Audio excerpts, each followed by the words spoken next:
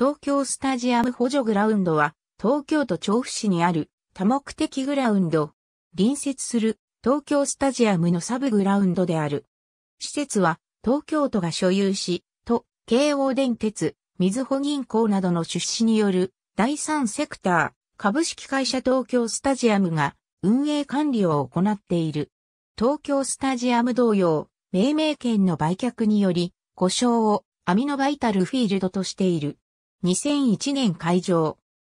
補助グラウンドはそもそも東京スタジアムが日本陸上競技連盟第一種公認を取得するのに必要な第三種公認の補助トラックを設置するために建設されたが、用地買収交渉の遅れなどから補助トラックを整備するのに必要な面積を確保することができず、東京スタジアムは当面は陸上競技場としての整備を見送ることとなり、補助グラウンドは主に球技を行うためのグラウンドとして使用することになった。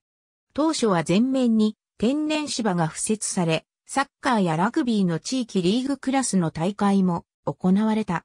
天然芝時代のアミノバイタルフィールド2002年、味の素が東京スタジアムの命名権を取得した際、補助グラウンドにもアミノバイタルフィールドの故障が付与された。アミノバイタルとは同社の健康食品のブランド名。2005年の開場5周年を機に、グラウンドがロングパイル人工芝ハイブリッドターフに張り替えられた。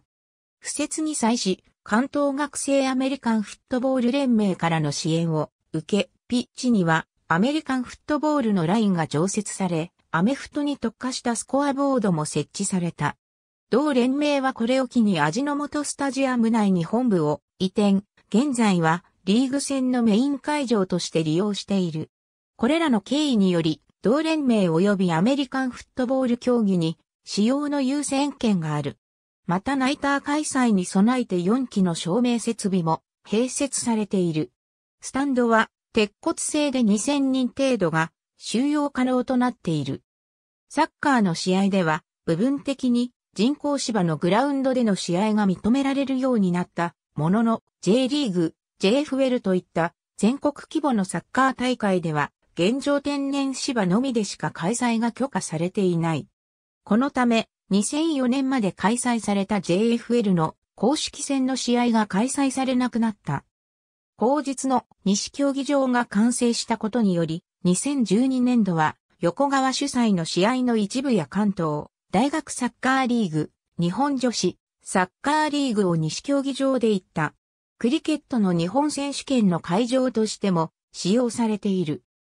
なお、東京都での2013年国民体育大会開催決定に合わせて、味の素スタジアム本体の陸上トラックの整備に加え、この補助グラウンドとは別にアジスタの西側に補助トラックなどを含めた武蔵野の森総合スポーツ施設の整備が計画された。この補助競技場の東京スタジアム西競技場は2012年4月1日に開設された。トラック8レーンで従来の東京競技場も継続して使われ、補助グランドは2カ所になった。その後、味の素スタジアムが公認陸上競技場から外れたため、東京スタジアム西競技場は補助グラウンドではなくなった。アミノバイタルフィールド命名権による名称アミノバイタルフィールドに関するカテゴリー。ありがとうございます。